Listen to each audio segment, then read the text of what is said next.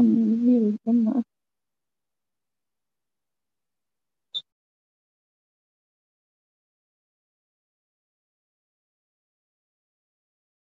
Start.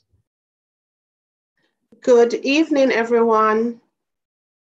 On behalf of the Aird family and the wider Gregory Park Baptist Church family, we welcome you to this time of remembering and of thanksgiving for the life of our mother, wife, sister, and friend, Brevette Aird. So that we can maximize the offerings of the platform, I invite us to observe the following protocols. Mute your microphones unless speaking. Use of camera is optional except when speaking. Please be conscious of your background. Use the chat feature to share your thoughts. Yes, we gather on this platform and declare it a sacred space as we recognize the unlimited and unbounded presence of God. As we celebrate with thanksgiving and gratitude to God, the gift of the life of our sister, Brevette Aird, we will do so through the readings from scripture, music, tributes, and prayers. We have come here to say farewell to Brevette Aird, to thank God for her life and commit her and ourselves into God's loving care. Listen now to the promises of Scripture. Draw strength and comfort from them that you might face this hour trusting in love and the faithfulness of God. The steadfast love of the love never ceases. His compassion never fails. Every morning they are renewed. Blessed are those who mourn, for they shall be comforted. As a mother comforts her child, so I will comfort you, says the Lord. Over him, pleasant are the courts above.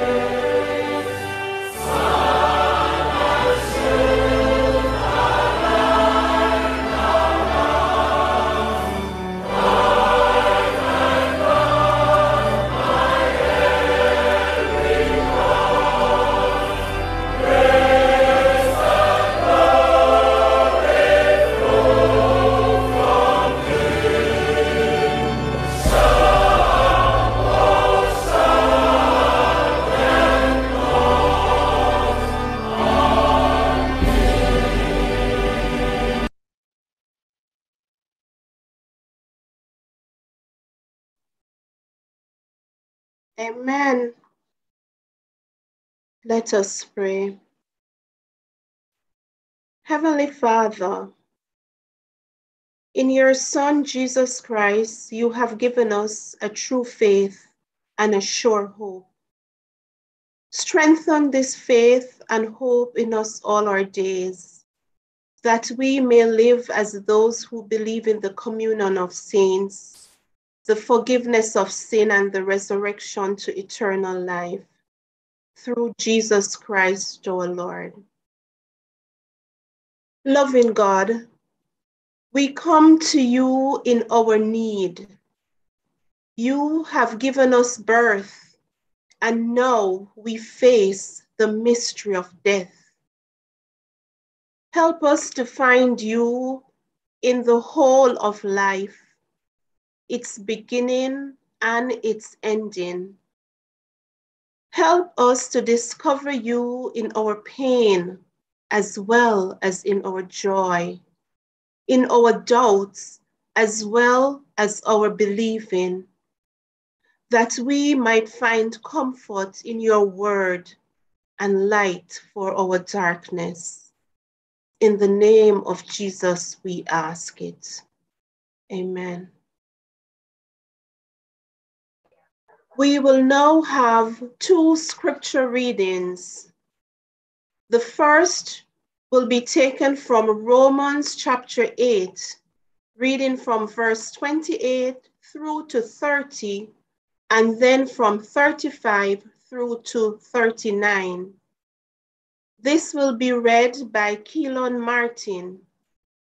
The second scripture reading will be taken from 1 Corinthians chapter 15, will be read from verse 50 through to 58.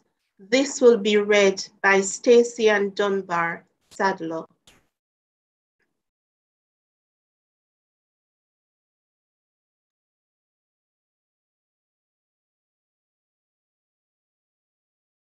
Today's scripture reading will be taken from Romans chapter 8, verse 28 to 30, and verses 35 to 39. 28 to 30. And we know that all things work together for good to those who love God, to those who are the called according to his purpose. For whom he foreknew, he also predestined to be conformed to the image of his Son that he might be the firstborn among many brethren.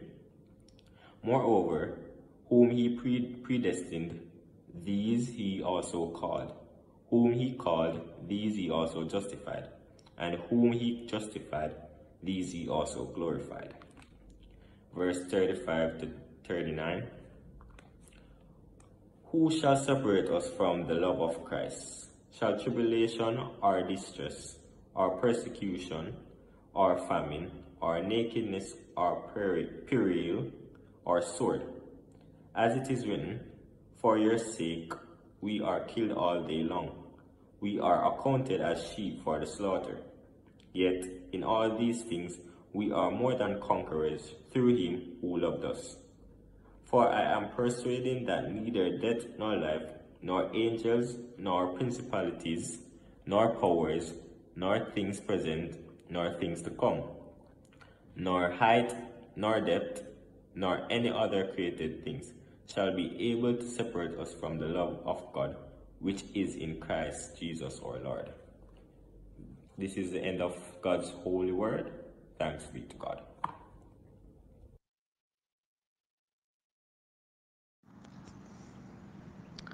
Our Bible reading comes to us from 1 Corinthians 15, reading from verse 50 to 58. Now this I say, brethren, that flesh and blood cannot inherit the kingdom of God, neither doth corruption inherit incorruption. Behold, I shew you a mystery. We shall not all sleep, but we shall be changed. In a moment, in the twinkling of an eye, at the last trump, for the trumpet shall sound, and the dead shall be raised incorruptible, and we shall be changed. For this corruptible must put on incorruption, and this mortal must put on immortality. So when this corruptible shall have put on incorruption, and this mortal shall have put on immortality, then shall be brought to pass the saying that is written Death is swallowed up in victory. O death, where is thy sting? O grave, where is thy victory? The sting of death is sin, and the strength of sin is the law. But thanks be to God, which giveth us victory through our Lord Jesus Christ. Therefore, my beloved brethren, be ye steadfast, unmovable, always abounding in the work of the Lord. For as much as ye know that your labor is not in vain in the Lord. This is the word of the Lord. Thanks be to God. Amen. We truly give God thanks for his words. Thanks be to God. We will now have a series of tributes. The first three tributes will be by Emily Spencer, sister, Tanisha Brown Kane's niece, Charmaine Aird, sister-in-law. Please proceed in that order.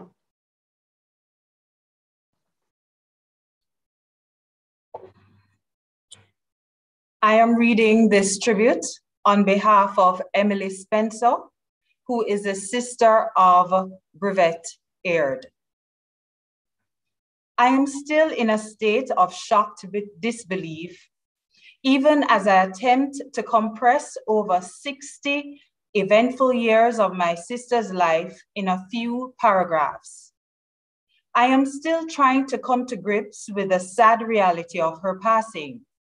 Brevette, Baby Reed, my Tia, really gone for true so quickly it seems like only yesterday we were happily laughing and talking as we discuss events in our individual as well as family lives, and now she just gone so. No, sir, this hard.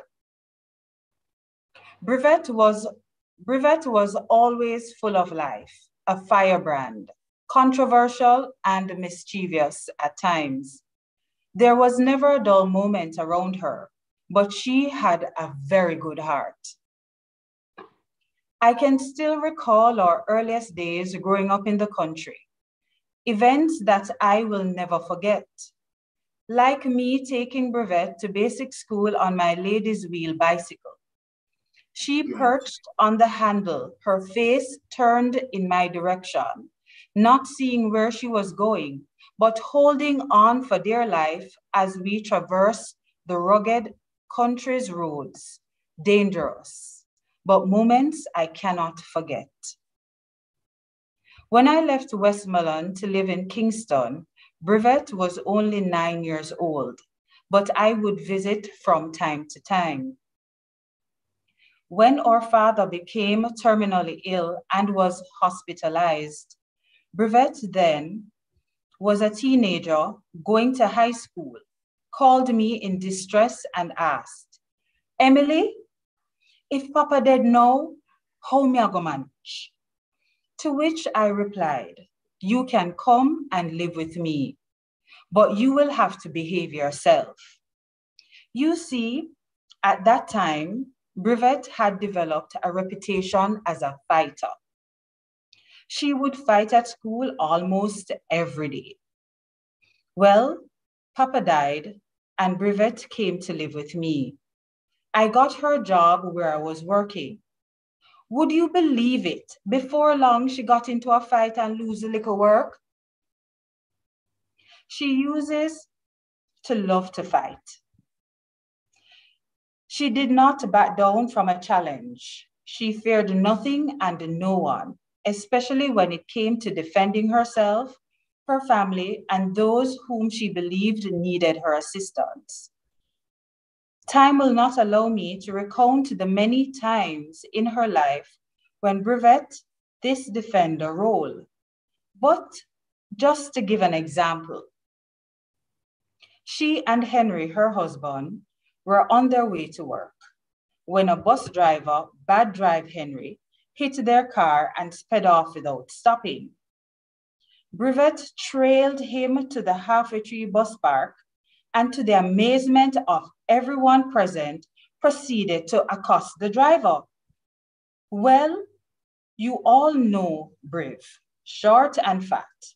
So persons were shocked to hear the little lady tell this big man that if I believe that I have a 50 chance to beat you, I would have kick off your face today. But let it be known that aggression generally only come to the fore when you interfere with her and hers, because Briv was also had Briv also had the kindest heart. Most helpful person I know, as many family, friends, and acquaintance, and even stranger can attest. She doesn't know, she doesn't have to know you to give assistance if you need it. She has always been a tower of strength in any family situation. From my daughter, Marva got seriously ill until her eventual passing. Briv was there front and center all the way. I honestly don't know how the family going to cope without her. Although Brave had no favorite when it comes to her siblings, she and I shared something special. We both love the kitchen and food. However, we had our differences in doing things differently. And so she would go out of her way to avoid me in the kitchen because, as she puts it, me can't take the many instructions. The last time she spent a weekend with us in Clarendon, Brevette started to cook from about 4.30 a.m. so that she would finish before I wake. I am really going to miss her calls at 6.30 a.m. to say, Emma, me reach work safely. My response, have a good day. And she, I will try. Brevette lived a full life. After coming to live with me, she, she eventually settled down, completed her pharmacy training, got married, and raised a beautiful daughter. And the icing on the cake came when Brevette, the fighter, finally surrendered her life to Christ and was transformed by his amazing grace and mercy. Brevette's passing has left a void. Things will never be the same again. Family gathering in the country, the planning of a menu for those occasions, among other things. Don't know what will happen, but God knows best. Even as I grieve for my sister, however, I rejoice in the certain knowledge that this is not the end, for we will meet again on the other side. Sleep in perfect peace, my Tia.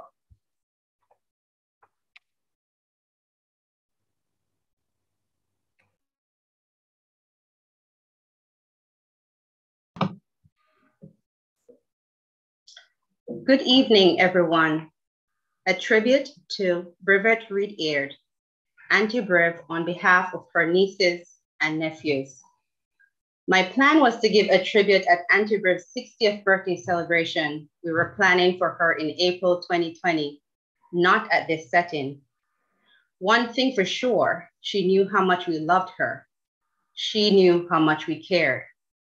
On April 8, 2020, some of her nieces and nephews decided that since we couldn't all be there to celebrate her 60th, we took it virtual.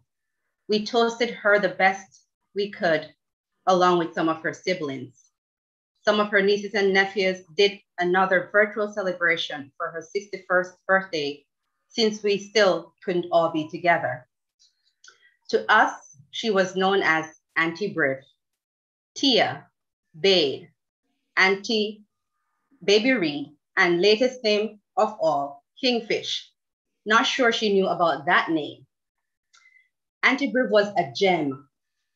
She goes above and beyond for everyone, whether you are a family member or not.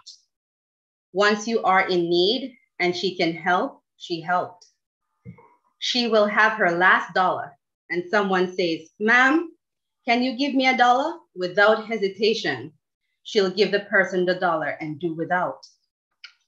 Auntie Briv was consistent.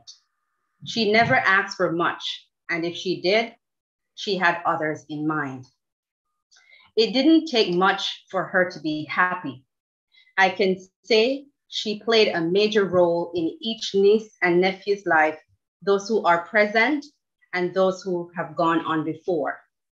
One scripture I know Auntie Briv fulfilled, and it's Galatians 6, verse 9, and it reads, And let us not be weary in well doing, for in due season we shall reap if we faint not. End of quote.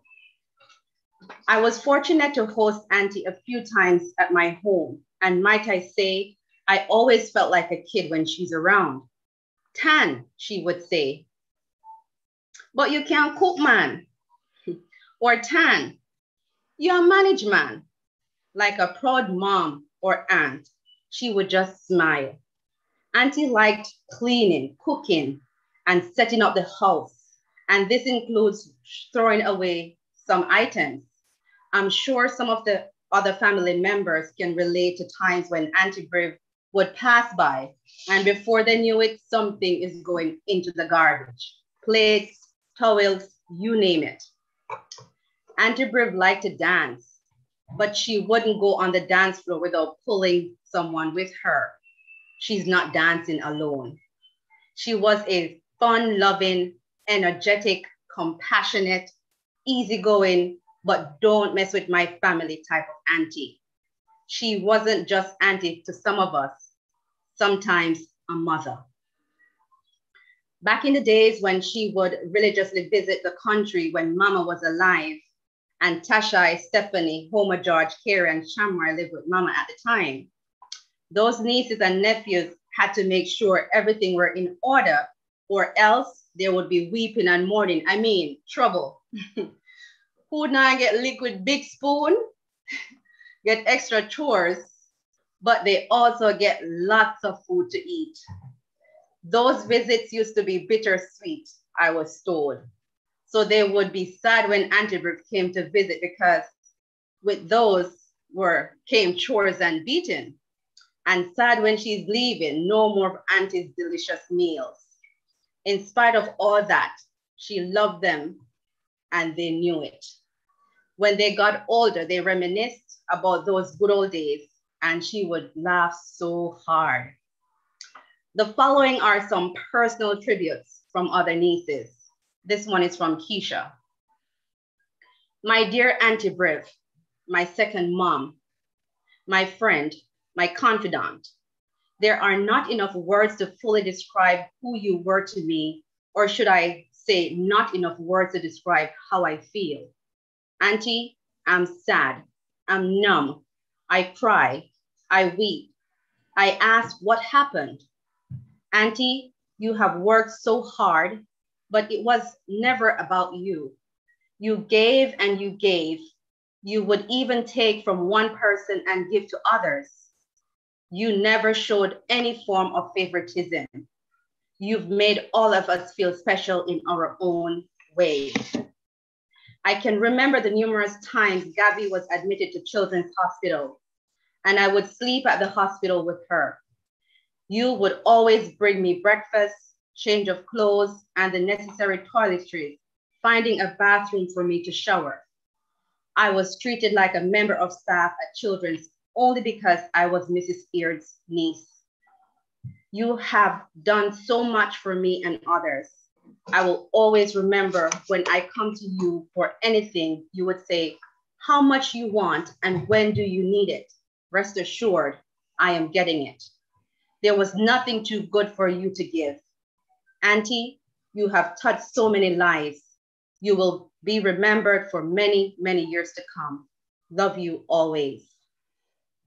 From Lisa. Auntie was a hard working person. I can remember as a child, she was combing my hair on a Sunday morning, but I had lice and she could not get rid of them. So she decided that the best thing to do, since my hair was so long, was to part my hair in two and cut it off. Auntie then put colorful elastic bands in my hair and said, time for church. From Valdine, warrior princess Auntie Briv. Auntie Briv was loved by everyone. She was hardworking and never complained about being tired. She was always moving nonstop. She was very helpful to every, anyone and very resourceful. She is someone I called a present help in times of trouble. She was always ready, willing, and available to help and lend a hand. In the middle of the night, early morning, on many occasions, Auntie Briv had accompanied us to Bustamante Children's Hospital when John Ryan was sick, stayed with us all night to offer support and encouragement. She contributed so much to my immediate family that I am ever grateful. She has left a void, a ginormous hole that no one else can fill. Her chair is empty and will always be. Her shoes cannot be filled. Country, the Reed family will never be the same again. I take comfort in the fact that she has indeed fulfilled her purpose here on earth and has gone home to rest. May her soul rest in peace and perpetual light shine on her. Love always, Valley. From Shireen. Auntie Brave was one of my favorite step aunts. I never felt or was treated differently from my siblings by her. I felt I had a special place in her heart as she even took me to spend a summer holiday at her home in Portmore. She was very kind and hospitable, not only to me, but to everyone. She was the energy of the family. Always a fun time when she stopped by the house on her way from town. There were, there would be laughter from the moment she arrived to the time she left. She will be truly missed by all of us. From Stacy Ann Sadler, AKA Annie K. Auntie Brivette was head cook and bottle washer.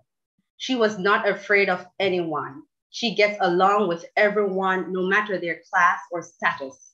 She didn't discriminate. Money had no value over people, whether you were a family member or just the boy who wipes the windshield at the stoplight. Auntie wanted the best for all her nieces and nephews. After I got accepted to college, she made sure to pack my suitcase and transported me to St. Catherine, even though I was crying. During my time at college, I would visit her and she would say, Take anything from the cupboard that you need. I would get a whole chicken, and in college, having a whole chicken made you feel like you're rich. I felt that way only because of my aunt. After supervising my wedding, now it was time for the babies.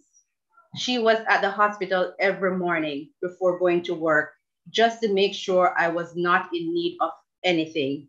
She would be back in the afternoon. Guess what? If she couldn't see me, she would make friends with every staff member, nurses, security guards, or even the janitor to make sure I was well taken care of. On leaving the hospital, I went to her house because she had to cook and wash my clothes and stay up with the baby while I sleep. The children are now grown. She would pick them up for classes on any day I called to say, lend, please lend a hand. The children loved when Auntie Briv picked them up, especially on Sundays, as she would bring them dinner. In the plate, she would put a slice of plantain, chicken, potato salad, tossed salad, pork, and a small amount of rice. She loved, we loved her cooking. School fee time. and there is no money to pay fee. Auntie Briv would just ask, how much you need? Okay, I will let you have it by Friday. Listen, this money you don't have to pay back. I could share my deepest joys and sorrows with her. I will miss her. Since her passing, I dreamt her singing, Heal the World, make it a better place for you and for me and the entire human race. And she was very happy. Auntie Briv has run her leg of the race, finished her course. She has handed over the baton for us to continue to light the world. My cousins, sisters, aunts, uncle, and friends, go light the world. In closing, Auntie has left 12 nieces, seven nephews, grandnieces, and nephews, and many in-laws to cherish her memories. I will use one excerpt from singer Gramps Morgan song, People Like You.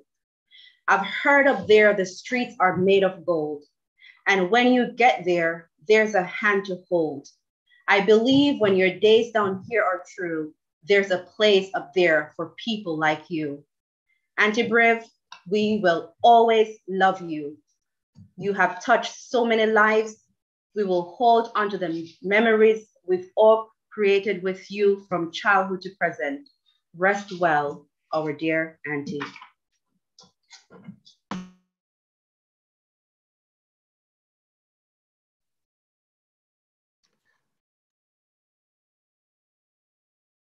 We continue to give God thanks for her life and will now take the second set of tributes in this section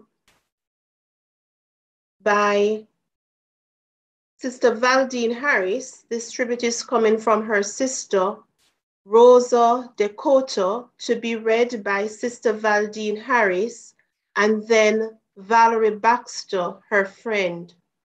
This will be followed by our hymn, O love that will not let me go.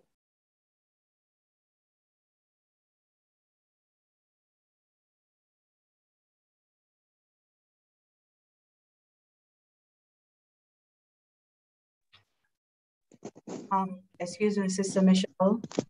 Should I go before um, Charmaine Aird? Oh, I'm sorry. I'm so sorry. It was Sister Charmaine Aird and then you, Sister Valdine. I'm so oh. sorry. All right.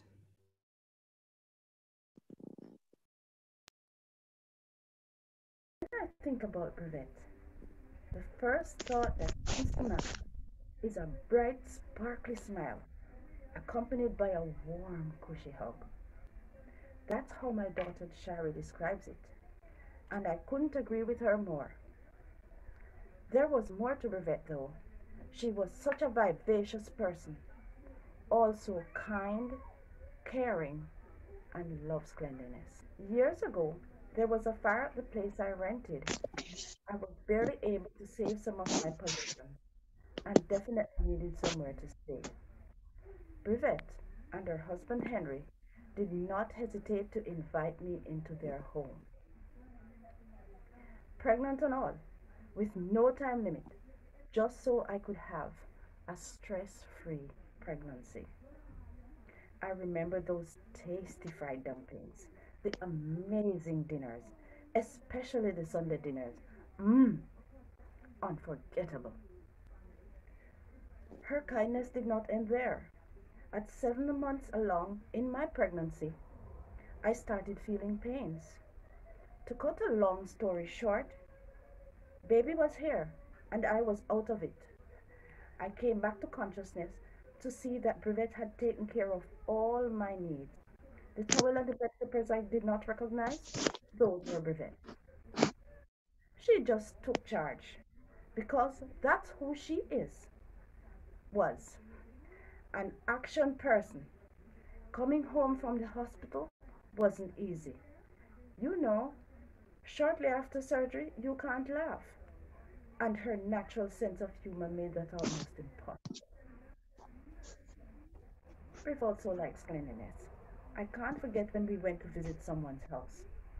The place was not up to her standard. She never said a word. She just rolled up her sleeves and started to clean up.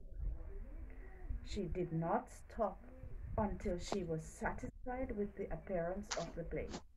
She wasn't all work and no play though. At my mom's 82nd birthday celebration, she was one of the first ones on the dance floor, dancing up a storm by herself. Then she pulled up my brother Ginger to join her, and then her sister Jenny. She knew how to have fun. Brevette brought so much love and warmth into a space and will be missed by myself, my daughter Shari, all my siblings, my mom, Miss Dor, affectionately known as Grandma, Karen and Jackie, former sisters-in-law, and I am sure all those people whose lives she had touched. I still have this difficulty referring to Brevette in the past tense because to me, she is still here. It's a little unreal to accept that she is not physically here. But despite that, she is not gone. She is right here in my heart. Treasure those precious times we shared. Too many to mention at this time. Brief, I am sure heaven is rejoicing because you will take all this love and happiness there. I will miss all those motivating words and prayers you sent me every morning to start my day. Have fun in heaven, sister. Keep dancing till we come join you there.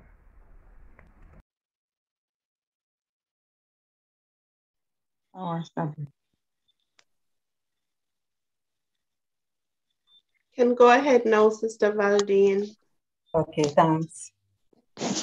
To the family, friends, and well-wishers of the late Brevette Delmarie Aird, Del, Delmarie Reed Aird, otherwise known as Tia, and Baby Reed. Good evening. I am Rosa Reed Dakota, the oldest sibling of seven children for the late George and Euphema Reed. I wish to relate a little story about my sister and I. Tia was born in 1960. That year, I left Westmoreland for nursing school in Kingston while she was still months old. School break came and I left for home in Westmoreland. I was traveling on the morning star bus and upon reaching Spanish Town Road, I saw a building with a bottle tipped over, and beneath the bottle were the words, Tia Maria Coffee Liqueur. I thought to myself, I am going to name my sister Tia, and that would be her pet name. I had already chosen her name for the registry as Brevette Delmarie Reed. Anyway, I couldn't wait to get home when I arrived, I picked her up and said to her, I will call you Tia. From then, she became my child, my Tia. Everywhere I went growing up, she was on my hip up to the point where people in the community thought she was my child. We had a sister mother relationship. And when I was leaving for England, Tia was just two years old. She was sitting on a bench by the side of the house, and when I picked her up, she started to cry. She knew I was going somewhere, and at that point, I too started to cry. I then said to her, Tia, I am going to buy sweetie for you. Soon come back. On my way to the airport in Kingston, I began thinking about my mom, dad, and my other siblings how young they were and how I loved them at the time. And at the time, I was 19 years old. I boarded my flight to England. We stopped in Gander, Newfoundland for refueling. We were able to deplane. While looking around, I saw a little shop with children clothing. I went inside and I saw so many pretty things. My father gave me six pounds for traveling. I used some of the money to buy a dress, a little pair of shoes, and hair ribbons for my Tia. Make no mistake, I never forget about my other siblings. They had my attention too. Reaching England, I wrote to my parents to let them know that I was safe and okay. I then made a package with various things for my other siblings and my Tia. I asked my mom to comb Tia's hair in three and take a picture of her and my other siblings and send it to me. My Tia, our sister, was a humanitarian, generous and kind to a fault. She loved hard work and was never afraid to speak her mind. Now, sister, you have followed the light, that place of quiet rest, near to the heart of God for that big sleep. So rest well, my dear, until then. Love, love, Rosa D. For the rest of us who are on the wake up list, as Abe Lincoln says, perhaps the best thing about life is that it comes one day at a time. So let us comply. Much respect.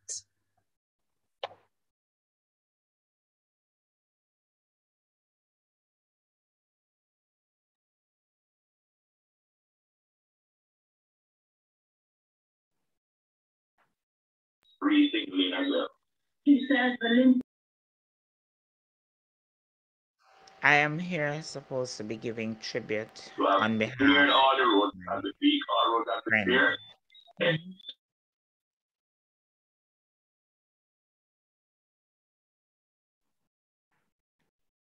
We will now My- take the tribute from Valerie Baxter, my friend. everything. My name is Valerie Baxter Griffiths extension. I, Brivette and I are coming from technician school days. And from the day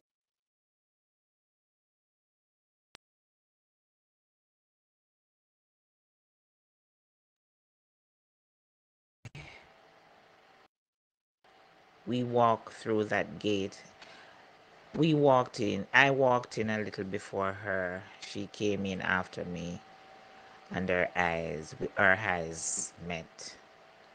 And that was it. It was like we were soulmates meeting up for the first time. I'm just going to give a little synopsis of some little things that we have really gone through because this this is very hard for me and I just cannot put it together. I give God thanks for knowing her. I give God thanks for sending her in my life. And as they say, God always plucked his prettiest flowers to finish his garden. And I know Brevette is in God's garden. I can remember one time that Brevette came to my house in the country while we were in school. And um, we were, you know, when you're not at your mother house and you go home on weekend, so you clean your mother house, you cook for your mother, and that was it. So we were cleaning. Barrett went into my mother's room and was cleaning my mother's room for her. Now, mama have one bush jacket hung up in the room where she would stuff all kinds of little receipt or little memory papers where she write things and she would pocket, tuck it in those four pockets. It was a little boy's bush jacket and it was in there. Brevette was cleaning the room. Anyway, she cleaned, cleaned, and she came out and she saw me and we met on the veranda because I was cleaning another room. And we met on the veranda and um, she said to me, Carry some water come give me you know, before I go in another room and dash with that bush jacket they were hang up in there. You know, and we laughed and we laughed and we laughed and we laughed and we laughed. Because I mean, apparently the bush jacket hanging up in there looked distasteful to her, and she wanted to take it out. So, Mr. to her, say, Miss, if you want to show the bush jacket, you call mama ask her if you can show it. But me can't come here control the lady, things like that, you know. And we laugh at it because I could see it was troubling her because um the room to be tidied, that bush jacket just looked distasteful to her, you know. That was that was one experience that I'll never forget. There's another one that um when we were in training, we always talk about this. Um, we didn't have it. We, we could not afford it. I remember um like on Saturdays, Brevette would said to me, um, V, we need to go study Saturday and them have a library down at KPH. Make we go down there go study. Um, we could only find our bus fare because I was living in Spanish Town, she was living in Portmore. We couldn't find lunch to study, and what we had to do, I, Brevette would um, I think her sister would make sock sock and she would carry one sock sock and I would buy a pack of tea biscuit. The tea biscuit, I don't know if you remember tea biscuit I mean, how much it was. It was either four or six biscuit and that was it. One sock sock and one tea biscuit for me and Brevette during the course of the day we down at KPH library study until we leave and go back home. That was it. We so Brevette suck the sock sock, for me suck the sock sock. Oh my God, those were the days. I remember another time that we were we went on a trip. I think this was when we started working, and we went on a trip to Green Grotto Cave. You know brevette size and our butt, you know, and we were going through this hole in Green Grotto Cave, and I remember um Brevette look at me and say, Val no go before me, stay behind me. Know, whatever my friend tell me if you do that, me go do. Because I know my friend and my friend. So me stay behind her. So when everybody gone through now, me and her last left we go through the hole and Brevette say, alright, me go go through you here. If me bottom stuck, me I beg you push me. They said, Oh my God, that was why she asked me to let her stay. But she went through, I didn't have to push her. But you know, those are memories that I'll never forget about Brevette. I mean, we shared everything. I remember my mother, um, when I would reach home, like go home, and Brevette was not going home with me. She say, Oh, you left Brevette. Remember, say, yeah, Brevette share everything thing, you know, I mean, down to no panty, you know, share. I said, yes, mama, but Brevette couldn't come this week. I'm in Westmoreland, Brevette is in St. Mary. I'm in St. Mary, Brevette is in Westmoreland. We are both in St. Mary, or we are both in Westmoreland.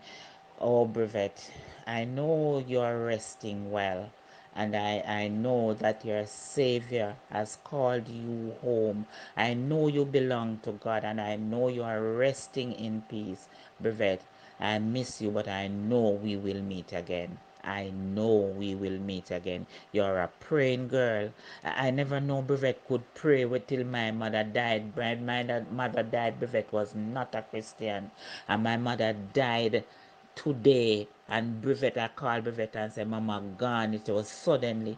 And Brevette take the bus. She wasn't driving and she come to Portland. And Brevette was hold me in a city and if you hear Brevette pray for me when she finish pray, she said, Val, and when me get them the prayer there from, me never know say me can pray for so. And we hugged and we do what we have to do. Brevette girl, Brevette girl, you you I am just accepting it. I'm just accepting it, Brave, that you have gone before me. But I know we will meet again. Thanks.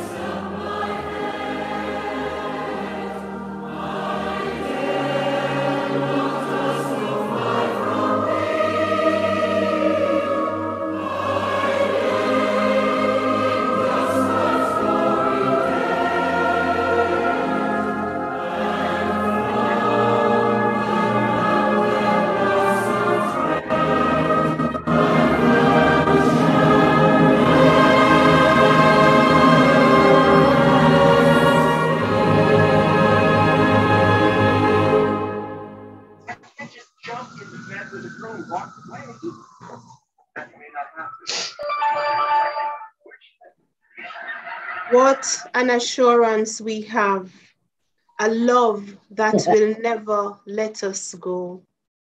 We now move to the second set of tributes. First, we'll have Jason Brown Sinclair, friend, followed by Brenda Brown, sister, to be read by Tanisha Keynes. Thereafter, we'll have a tribute from the Bustamante Children's Hospital to be done by Hugh Roy Thompson.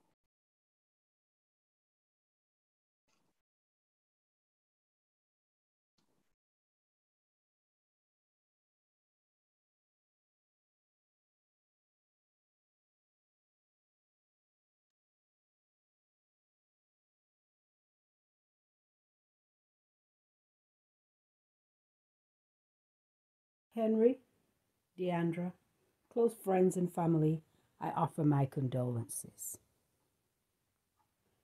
I was asked by Deandra to do a speech for Brevette's 60th birthday, and I was delighted to talk about my dear friend. But that never happened. Now I have been asked to do a tribute. I am saddened, but I will do it. I will do this for my friend. I guess heaven needed an angel, someone just like her. Kind, understanding, and loving, wear wings. Watch over us through and through.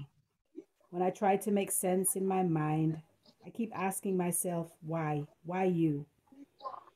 The only consolation I come to is heaven was missing an angel and God picked you. I remember the last time I spoke to Brevette. We talked for such a long time. We laughed for hours, remembering the good old times. We really had some great times together. We lifted each other's spirit. Brevette, I'm really going to miss you. I met Brevette 25 years ago, and since then our friendship had grown. I cannot ever remember us being upset with each other. If we had issues, we always made it right. Our children went to the same school, so as mothers, we took them to school every day and created a friendship that could never, ever be broken. Also formed a bond with some other mothers. Audrey, she was the fun-loving one. Cecile, she kept us in line. Donna, me, I was Hannah. Yvette was the one that always said, let's do this, let's go, ready for the next adventure. We were always going places together with our children and having a time of our lives. We enjoyed each other's friendship so and I have a very special relationship.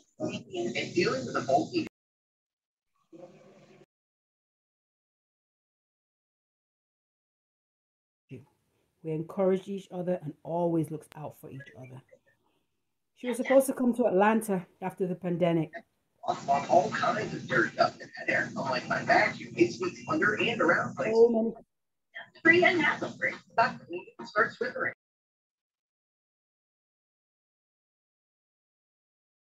stories I could tell you all, but there is not enough time. I called her on her birthday. She was so happy. She sent me a picture of her sitting down with balloons. We promised each other when all this was over, we'd all get together and go on one of our great trips. for Her next Lady, I'm muted. The true friend. to actually. I'm muted. You keep saying the host muted. Because when everybody else used to laugh at me and say, Hey, Uh-huh. You cannot sing. Rivet used to always say to me, Sing to me whenever you want.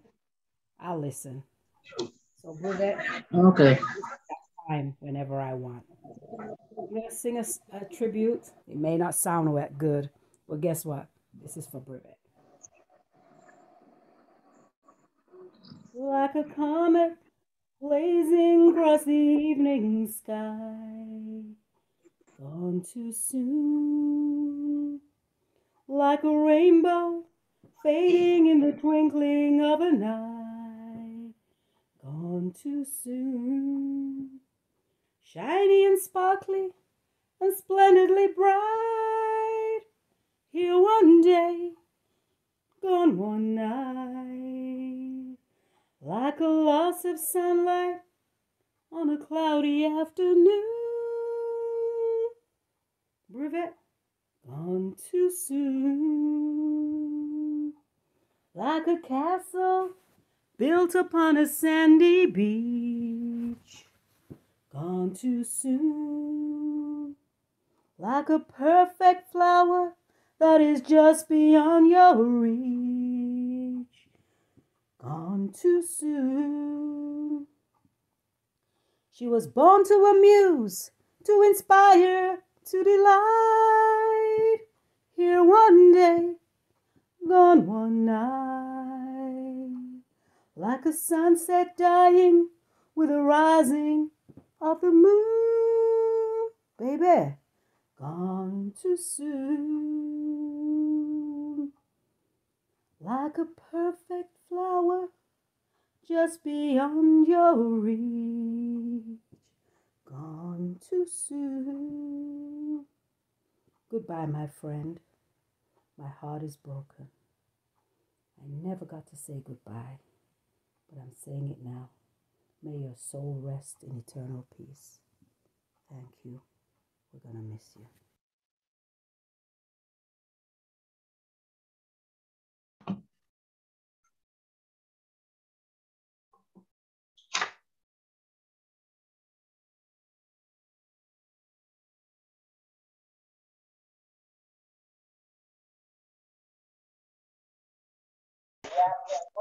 Go ahead, Tanisha. Thank you. A tribute from Brenda Brown. My sister, Baby Reed, Brevette Delmarie, Delmarie Reed Aird. You are gone, but not forgotten. You have always held a special place in my heart. I will cherish all of the time we spent together. We would cook together as you know how to quickly prepare the meals and you would call me and said, Brenda, you do the sharing. We would laugh and share our inner thoughts about life and God. You have been a tower of strength, especially when I was sick. I would call you and say, Come take me to the doctor. And you would not hesitate to take the time from your job to make sure I was okay. On one particular occasion, I can remember I was not eating, and you came and took me to the doctor. And afterwards, you took me to Burger King and bought the largest burger on the menu. We ate it together and had a good talk. I felt so much better. Then you acted like the bigger sister. You put me on a taxi to go home while you boarded the bus back to St. Catherine the same day. Brevette have helped me, have helped to nurture my four daughters, Anike, Keisha, Shireen, and Tanisha. She would have, she would make sure that they get any necessary help, whether for school, locating a doctor, getting medication, or even spending time with some of them during the times they gave birth to their children, as I was not able to stand up to those things. My sister, you have taught us how to be a true family. There was nothing you wouldn't do for us. Brevette, I looked forward to your Christmas visits as the kitchen and the cleaning would be your favorite place and things to do. After dinner, there comes the cake and ice cream. Our sides had nothing over us. We had fun times at the hotel, swimming and chatting. At our beach trips, you would want to be the one to duck me. This was always a challenge you could not manage. Sis, I miss you. Sleep in peace. You have finished your work here on earth and now at rest. Brenda May. We thank you all for the tributes that have been given in this section. We now welcome tributes from Jane Thomas and Gregory Park Baptist Church following which there will be a selection from Jennifer Reed. We welcome Dane.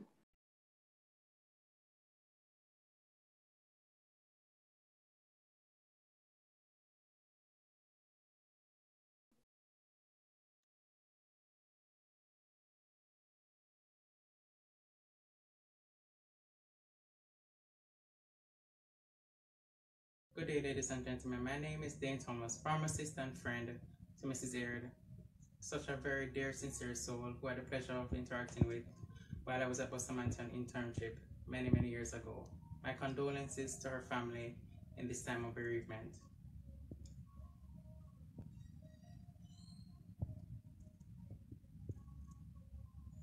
Mm.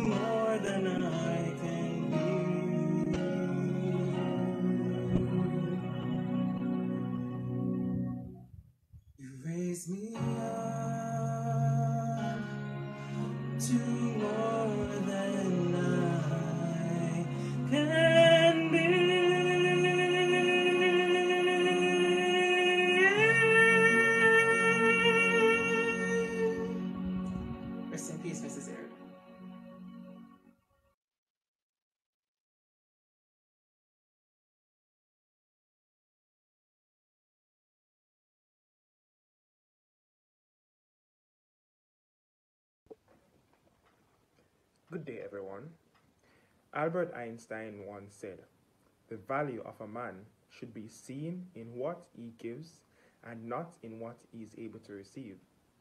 In one word, Brevette Reed Aird was a woman who gave. She gave much to her work to take care of the nation's children. Here was a life that demanded notice, a life that exemplified brilliance, a life that inspired emulation, a life that burned so that others' paths were lit. How does one express the amazing essence and spirit of Mrs. Aird?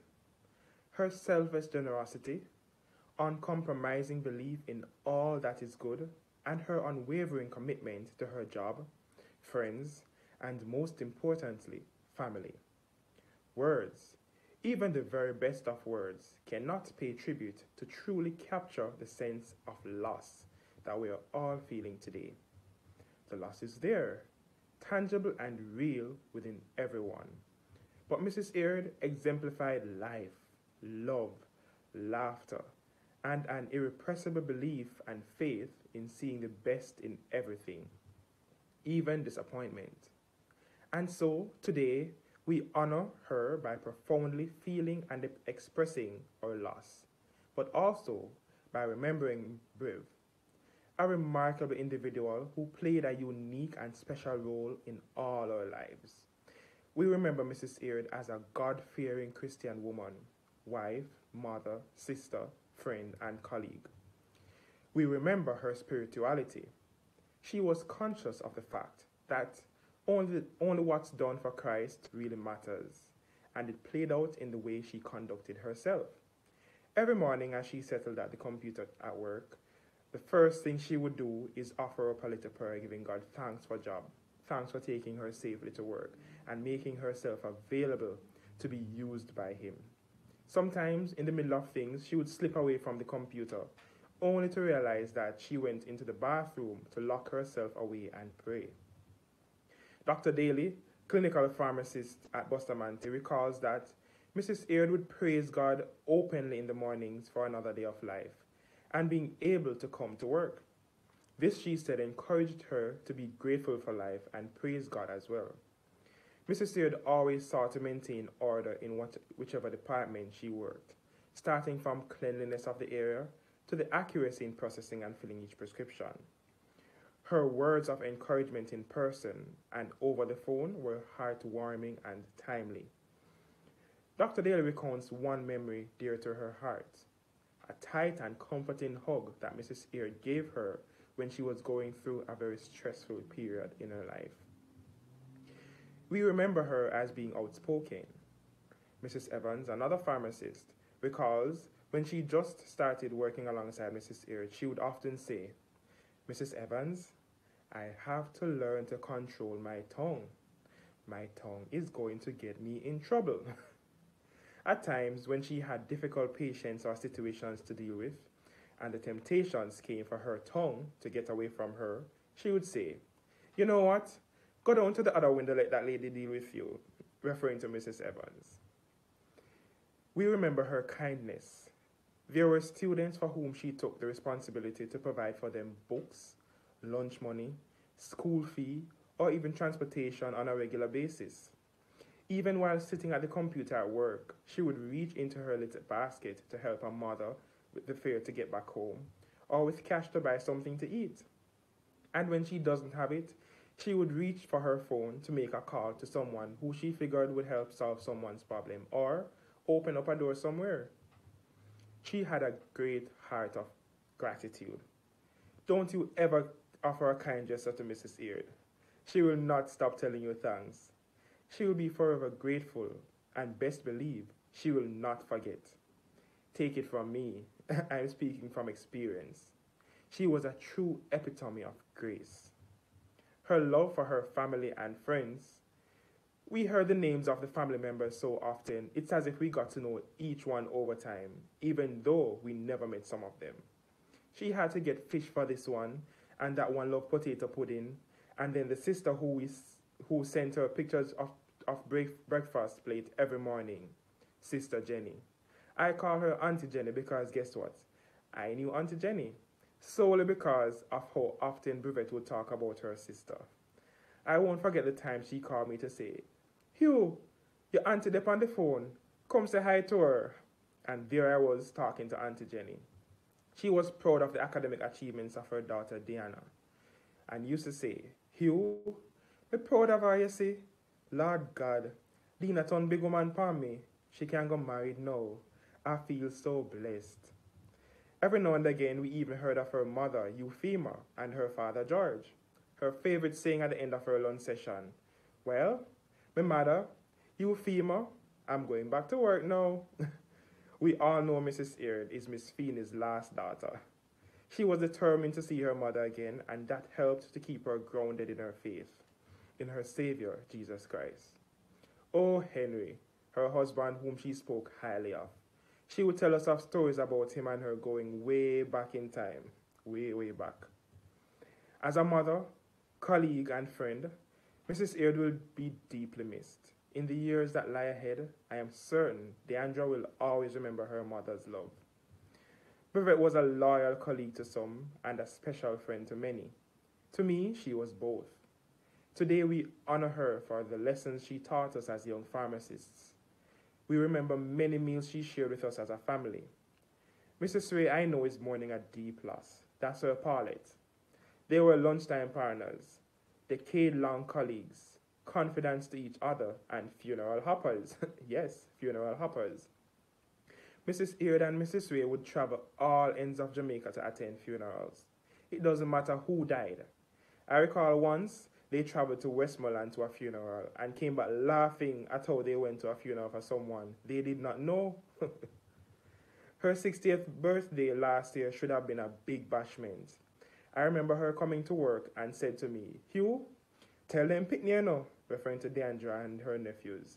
If them not give me a big bash for my 60th, it not go nice, you know? and I had to ensure I got in contact with Deandra to find out what the plan was. Because Clearly, they would have gotten the memo and was planning big bashment for her, but unfortunately, COVID prevented that.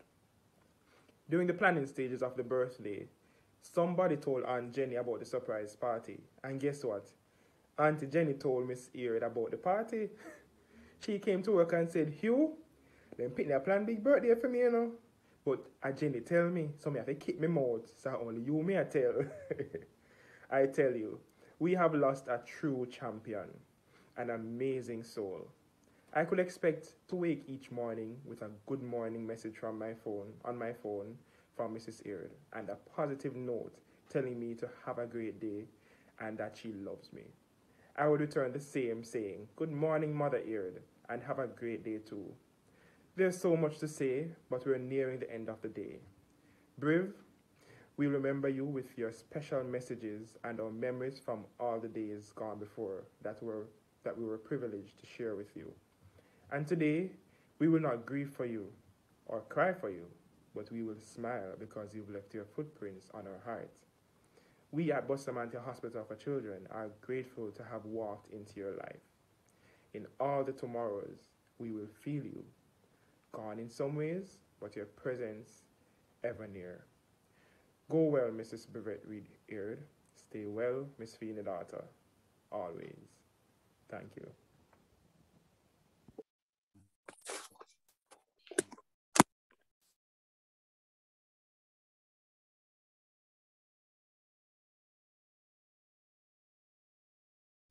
Precious in the sight of the Lord are the death of his saints.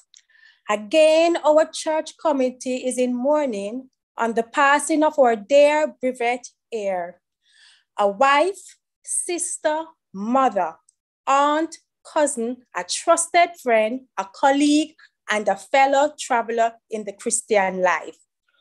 Our sister Brevette accepted the Lord as her personal savior, and was baptized on September 21st, 2014, and was received in the fellowship of this church on October 5th, 2014. She lived in Portmore Pines and was a member of Class 9. She was a deep thinker who took pride in everything she did, especially the things of God. She was a pharmacist, and when she learned that our church assisted with prescription for those in need, she was very happy to help in this regard. And she would often take prescriptions and fill them at her own expense and travel to the church to deliver them as she would so as she was so knowledgeable of the importance of taking medication on time.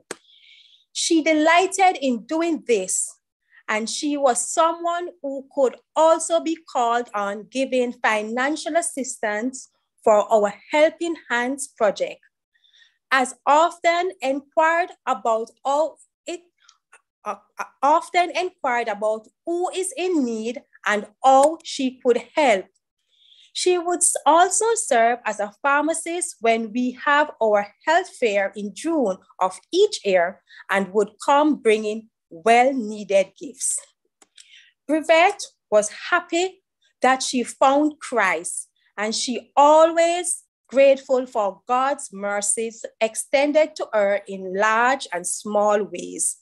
Her heart was filled with gratitude and it was her greatest pleasure to share what she had. Brevette, Brevette has left an indelible mark on our lives. Her faith in God, her deep spirituality, her sense of commitment to Christ, and her love for persons, especially the elderly, became the hallmark of her life. As we gather to say farewell, we will remember the little things that left a special place in our hearts. We will remember the happy times when we laughed and those times when our hearts broke as one. We gather to share the pain, to share the hurt, to cry, not to hide or avoid tears, as it is certainty, certainly a difficult time for all of us. We are grateful that our path crosses ours and we, we remain behind to celebrate our life, must hear the challenge from her, from her life. She, like the Apostle Paul, can say, have fought the good fight, have finished my course. To her husband, Henry, her only child, Deandra, who is also our class, our church sister, and the larger and the large extended family, family of sisters, brothers, nieces, cousin, nephew, and a host of friends. Our prayer is that God's strength will sustain you today and the days ahead. We believe that He will take, He will make Himself known to you and comfort you. Your loved one lives a full and meaningful life. We are assured by the scriptures that to be absent from the body is to be present with the Lord. Sister Brevette, to know you was to love you. We miss you so much. We are assured that you are safe at home with your Lord and Savior, Jesus Christ. Sleep on, beloved.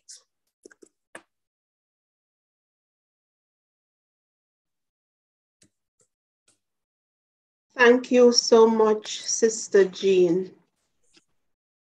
We will now have a selection by Jennifer Reed, a sister of our dear Sister Brevette Aird. This selection will be followed by the eulogy to be done by her daughter, Deandra. We continue to lift up the family in our prayers.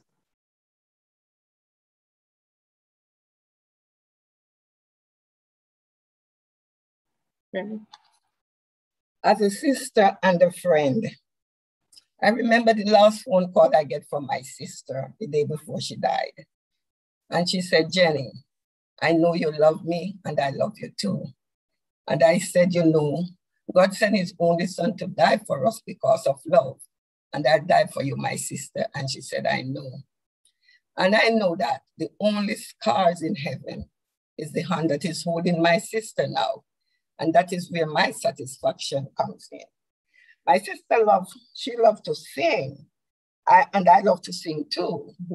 And I'm not the best of singer, but this is my song for my sister. God, I look to you. I won't be overwhelmed. Give me vision to see things like you do. God, I look to you. You all my help come from. Give me wisdom. You know just what to do. Yeah. yeah. I will love you, Lord, my strength. And I will love you, Lord, my shield. And I will love you, Lord, my rock, forever all my life. I will love you, God. Hallelujah, our God's reign. Hallelujah, our God's reign. Hallelujah, our God's reign forever all my days. Hallelujah, God. I know my sister is in the arms of Jesus. My sister is with her mother, her brother, her sisters, and, and she's just doing well. Sleep well, my sister, until we meet again. God bless.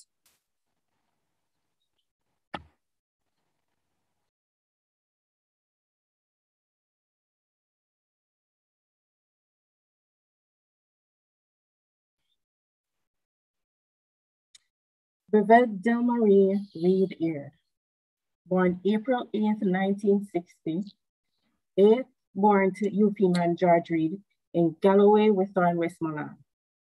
The last of the bunch, she adopted the moniker Baby Reed and was the apple of her father's eye. She began her education at View Primary and went on to Savlamar Secondary. And from even those years, she was never the one to take Delhi standing firm in what in defense of whatever she felt was right, which in some cases resulted in complaints reaching Eufy and Maskofi. As everyone grew older and older children left home, started to make their way in the world and have their own children, Brevette took on the role of helping to raise the second generation of the Reed clan. Coming here, cooking meals, ironing clothes, and seeing them off to school. At this time, she was beginning to hone her skills as the best quick cook and one of the cleanest people you'd ever come across. At the age of 17, Brevette lost her dear father and eventually went on to live with big sister Emily, where she began to shape her future. She started Moneague Teachers College, but that was short lived when she decided to take on the path of pharmacy as a pharmacy technician Along the journey, she picked up lifelong friends and met her future husband, Henry Aird. As she got older and she began her own family, her mother was the apple of her eye. Brevette the Rebel Rosa took on another facet, becoming a mother in her own right after beginning her career at Allen Medical, then later Health Corporation. She came to find her home, however, at Bustamante Children's Hospital around 96. And with the fire that was lit to ensure the path of her one daughter, she worked shifts at other pharmacies such as Charlie's Drugstore, Medicine Chest, Portmore Pines Pharmacy. Along her journey, she became a great friend and mother to many, leaving her heart, her light, her warm smile wherever she went. opening her arms to co-workers, daughter schoolmates, parents, teachers, never just thinking of herself. Brevette grew so much over the years, drawing closer to her Lord, particularly following the passing of her mother. She became a regular attendee at the Gregory Park Baptist Church, where she could be often seen singing lofty songs of praise. She had offered even more herself to the service of the Lord and becoming someone who prayed unceasingly. She appreciated every day she lived and took joy in the small things and any opportunity to dance. And today we can say she indeed left a legacy, touching countless persons on her journey, leaving behind stories of her heart of gold, giving nature, warm smile, warrior spirit, and good vibes. And today we honor a mother of many, hard worker, good friend, protector, cheerleader, and incredibly selfless human being. May we who know and love her honor her by sharing even a bit of that light with us. Thank you.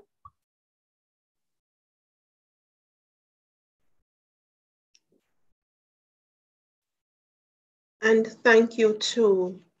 Indeed, we give God thanks for a life that was well lived.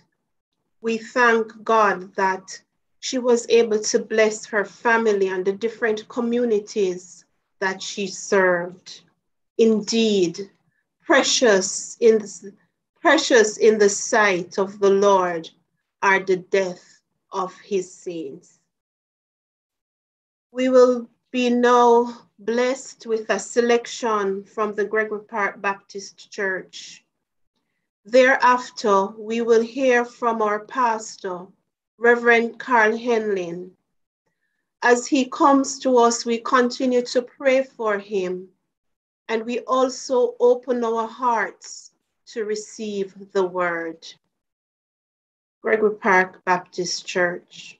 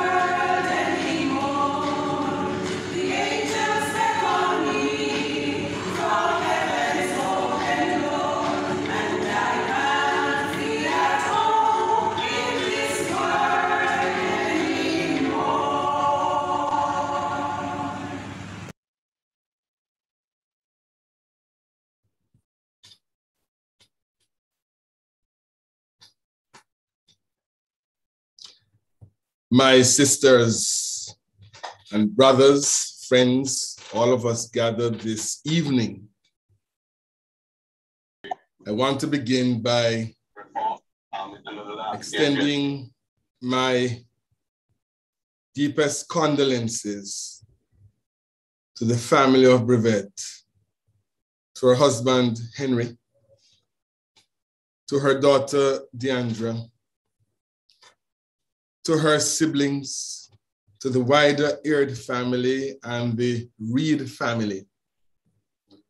I offer these words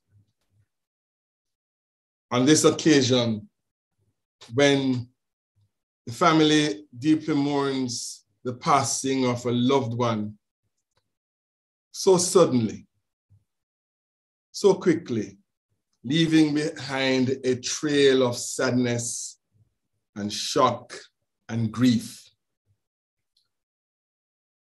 This family, Brevette's family, has experienced times of grief in the recent past. And some of us here are aware of the ways in which that family has had to endure the passing of other members of their own family over time. And as we stand in solidarity with that family, we give this assurance that the God who has been with you all through the valley of the shadow of death, that God promises to take care of you with every passing day. I knew Brevette, I think, first as Emily's sister. What an image now put in my mind of Emily taking her sister on a bicycle. I can hardly imagine what that looked like, knowing both of them for the years I knew them. But I knew of the very close relationship between them both. Then we came to know in time Deandra growing up in our church.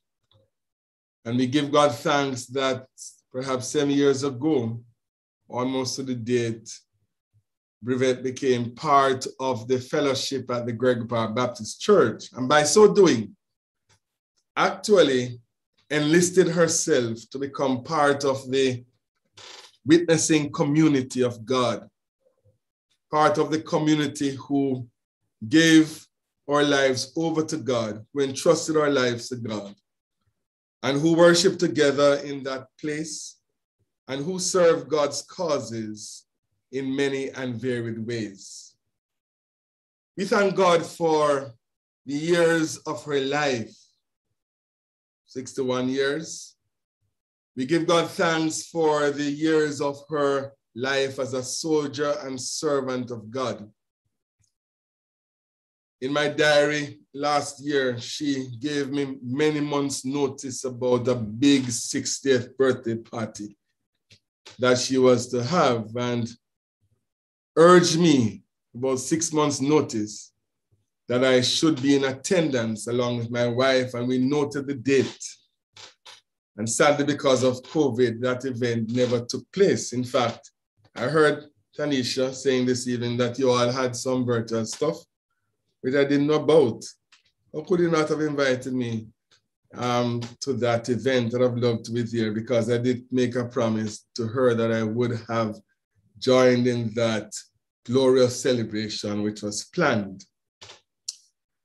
But may the Lord grant to this family his choicest blessings as you come to terms with her passing, as you grieve her passing, and as you adjust to life without her.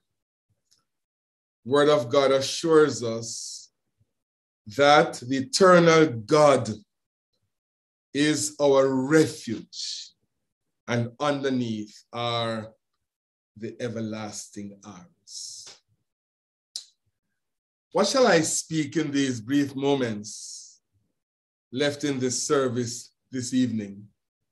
As I reflect upon Brevette's passing, but not only Brevette's passing, but upon the passing of so many persons in our country and in our world today. What is that word that I want to share? Perhaps I would like to leave with us briefly from the book of Job, chapter 1 and verse 21. Some of us know this word by heart. As Job says, Naked I came from my mother's womb, naked shall I return there. The Lord has given, the Lord has taken away. Blessed be the name of the Lord. That sometimes a hard word to swallow when you are in the midst of untold suffering and grief. It is a difficult word to embrace and appropriate when we consider that every sound we hear today, every news that comes to us seems to be that which conveys the news of death. And we're all tired of it now, especially in this pandemic. We're tired of death. We're tired of hearing about death. We're tired of being threatened and taunted by death. Yet we have to say this evening, as we gather together, that we've got to brace ourselves. For even before the pandemic COVID 19 came upon us, we all knew, though we sometimes forgot, that we live our lives actually in the valley of the shadow of death. That we live our lives always aware that none of us is certain of the next day. To hear of the death of strangers numbered each day makes us grieve, but to grieve from a distance, but to have a family member, mother, a wife, a friend, a colleague die becomes more than a statistic, a number. It becomes so real to us that it jolts us and brings upon us a wave of sadness, sometimes too hard to express. We human beings will never get used to death. It still hurts. It still pains. It causes a void which seemingly nothing can help. And sometimes we are prone to join with the psalmist, or if only I had wings like a bird, I would fly away and be at rest. Somebody wrote these words in a book that I have somewhere. The writer says to be human is to live by sunlight and moonlight, night and day. To be human is to live with anxiety and delight. To be human is to be aware of our limitations and at the same time to transcend our limitations. To be human is to fall down and to rise up again. To be human is to experience the ebb and flow of life. And she goes on to say that if we would desire life with only half of those things, one half, if we were to desire life with only a half of life, is actually to want to live half of a life, shutting the other half away. But the truth is, that is only the stuff of fantasy. It is true, as she says, we're living by sunlight and moonlight. We're living with anxiety and delight. We are living limited we're living transcending our limitations. We're falling down, we're rising up. Both of those things embody the human experience. Job says, The Lord has given, the Lord has taken away. Blessed be the name of the Lord. It's a note of praise which Job utters in the face of unimaginable grief and loss. It's a note of faith and confidence which Job dares to utter even though everything seems to be falling around him. It's a note of divine defiance which Job utters when everything is breaking apart, family gone, possessions gone, health gone. Naked I came from my mother's womb. Naked shall I return. The Lord has given, the Lord has taken away. Blessed be the name of the Lord. You know, in that verse, Job makes reference to the Lord three times. The Lord has given, the Lord has taken away. Blessed be the name of the Lord. What can we derive from that faith expression? Except this Job, in the midst of unimaginable loss and grief, knows that our lives originate from God, that our lives are gifted to us by God, the Lord has given. Job also knows that all our days are in the hands of God, our present, our past, and our future. Life oriented towards God. Blessed be the name of the Lord. Job determines that come what may, he understands his life as organized and geared towards bringing glory and honor to God. What a beautiful testimony we heard today from the staff to whom I also convey my condolences, her colleagues at work. What beautiful testimonies from her friends and from her family. This vibes woman, this positive woman, this bright eyed woman, in my estimation, this energetic girl came to a place on her life's journey when she contemplated the reality of God. When she considered the grace and mercy of God extended toward her from her first day. When she hearkened to the invitation of God to orient and to order her life towards God's purpose and glory. Perhaps you know, if she would speak to us today in her own way of speaking and being, she may well join with the prophet Job and say to us, listen, this is life. The Lord has given. The Lord has taken away. Blessed be the name of the Lord. And we who listen to the voice of Job from a safe distance are always trying to make sense of the fortunes and the misfortunes of life. And we're always trying to locate God somewhere in the midst of tragedy and sorrow like this.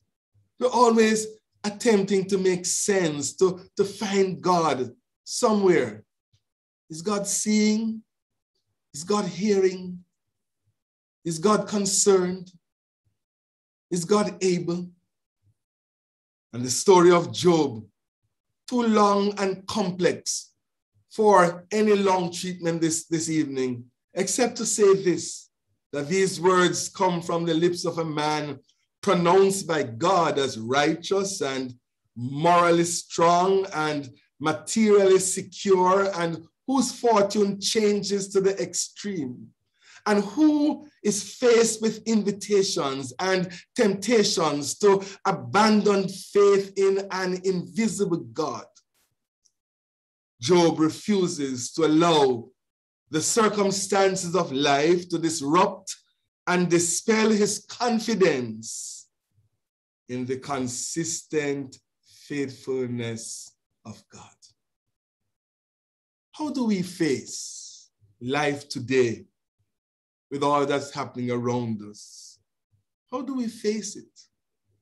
Some people may well say, que sera, sera, whatever will be, will be.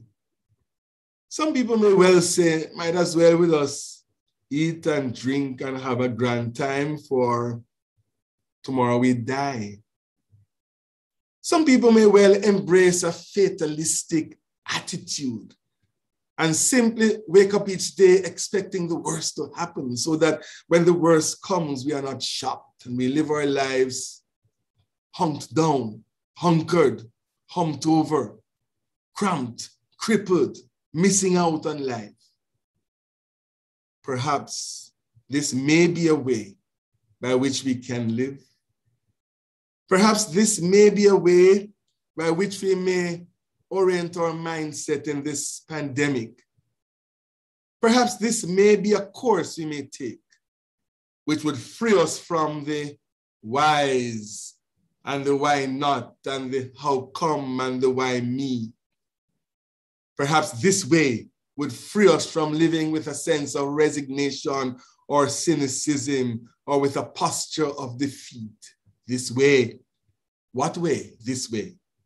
To acknowledge the sovereignty of God, to acknowledge the sovereignty of God, and to acknowledge the sustaining graces of God, which makes us live our lives as a doxology. Blessed be the name of the Lord from the rising of the sun until the going down of the same. The Lord's name is to be praised. Acknowledge the sovereignty of God our lives are in the hands of God. Let him do what he would, we may say. Our lives are sustained by the grace of God from its first day till its ending day. The Lord gives, the Lord takes away. Blessed be the name of the Lord. So let's leave from this service today. How? Living with joyful gratitude for the privilege of life, for the gift of love and the gift of laughter and the gift of family. So easily they pass away. Let's, let's grasp them. Let's live in joyful gratitude.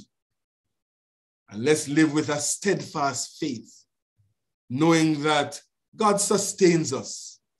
And even though we live in a world where our lives are surrounded by waters of chaos, sometimes subsiding, sometimes coming back again, fierce, relentless, pounding at the edge of the dry land of our lives, breaking up the arrangements we have made, threatening to wash it all away. Let's join with the word of the prophet. And God says, What do you do when the waters rise? Fear not. I have redeemed you. I have called you by name when you pass through the waters. You're not going to drown. When the fires come, they're not going to burn you up. For I am with you. And in her closing moments, breathing, always delighting in God, I think we can rest confident that Brevette went on to meet her Lord knowing one thing. What can separate us from God's love? Shall nakedness or peril or sword or something, COVID or sickness or death? No. I am convinced that nothing can separate us from God's love. For in all these things, we are more than conquerors. Take that as a guiding, a guiding course for your lives. And to this family, be assured, cast your cares upon him he will take care of you. Naked I have come into this world, naked I will return, my life abandoned to God. The Lord gives, the Lord takes away. Blessed be the name of the Lord. Amen and amen. We join together as we listen to the hymn, When Peace Like a River Attendeth My Way.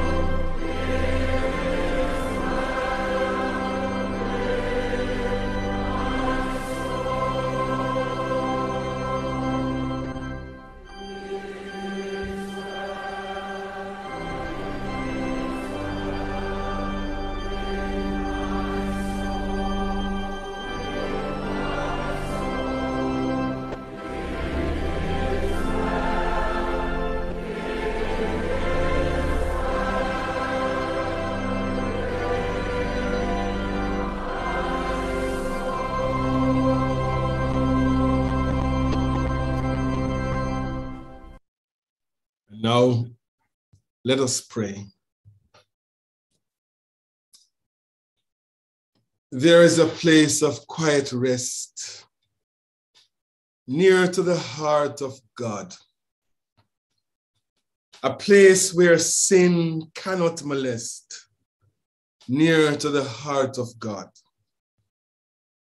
O Jesus, blessed Redeemer, sent from the heart of God, hold us who wait before you near to the heart of God. Loving God,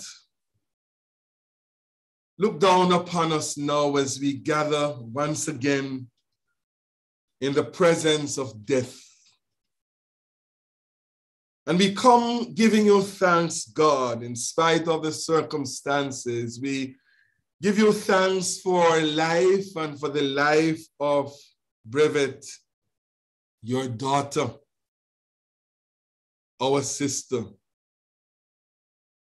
your daughter, your servant, to us, mother, wife, aunt, relative, and friend.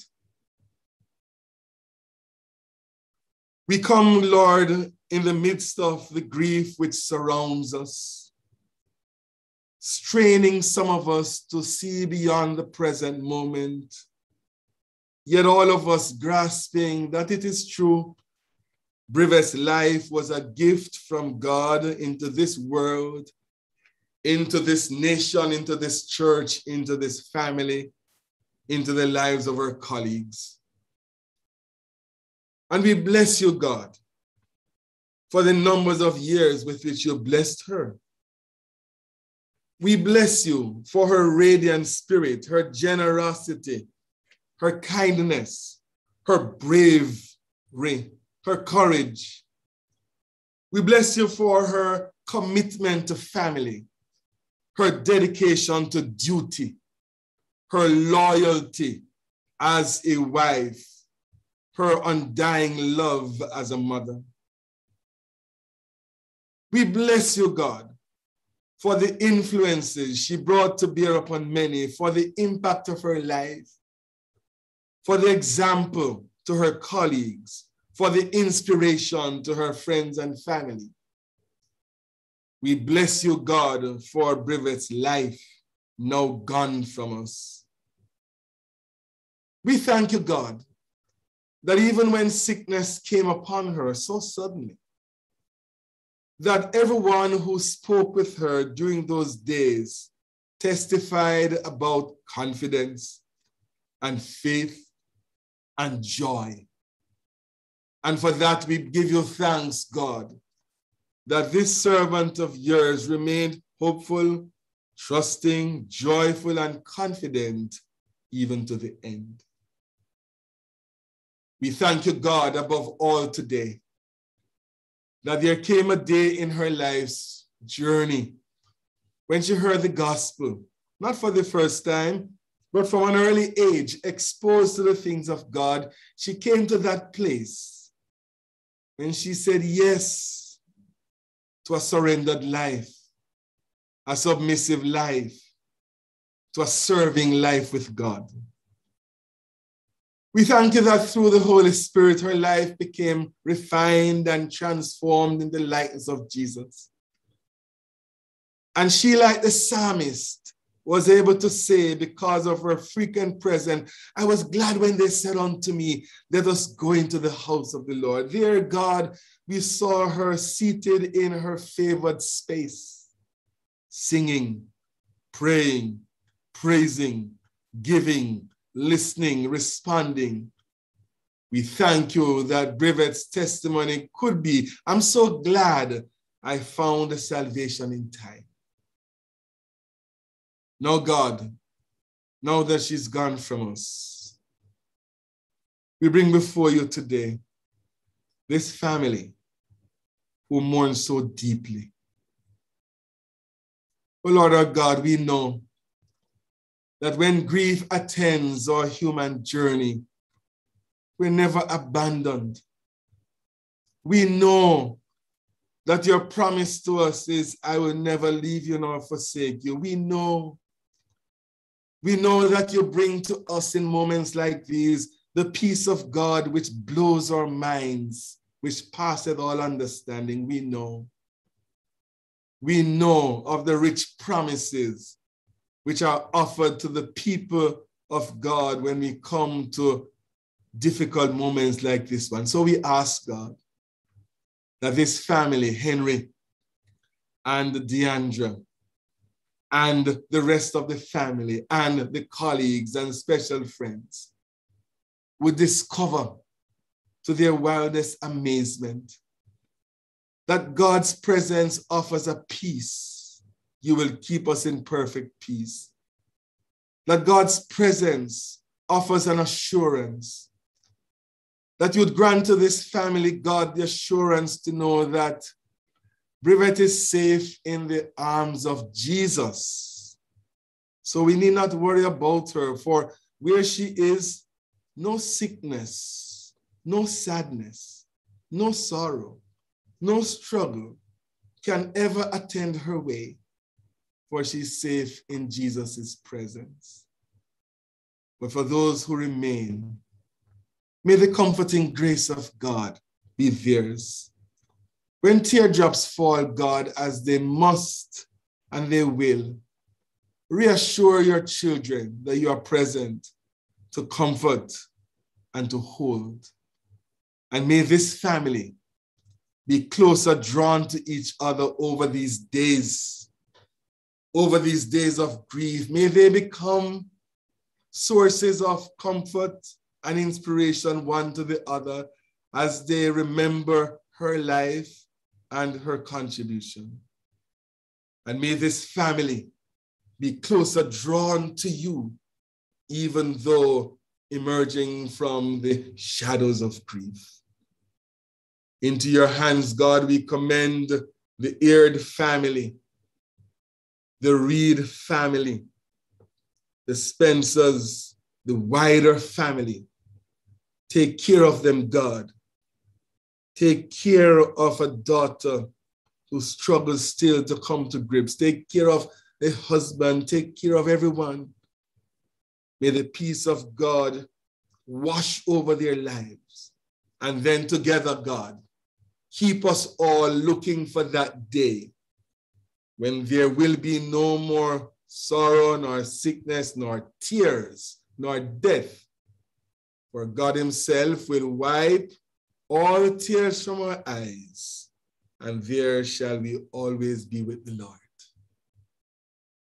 Oh God, our Father, hear all our prayers today and answer our deepest cries. For we pray all these things through Jesus Christ, O Lord. Amen. Amen. Please receive the benediction in the tradition of our church, we lift our hands together wherever we are as an act of reception and anticipation as we receive this blessing. And now, may the Lord take care of you all.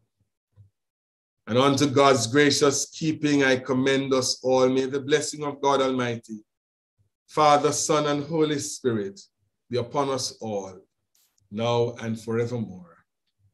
Amen and amen. God bless you all. Thank you, everybody, for joining with us in this service. The, the brethren on YouTube will soon sign out from us, but the family who remains will no doubt share words with each other for a few moments before we sign off. God bless you all.